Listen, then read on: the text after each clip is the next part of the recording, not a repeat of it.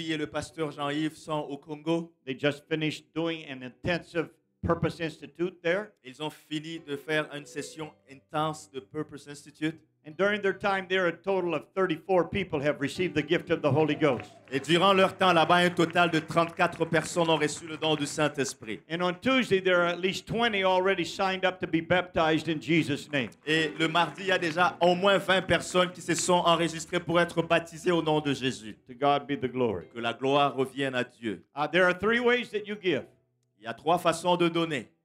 give online with an e transfer, give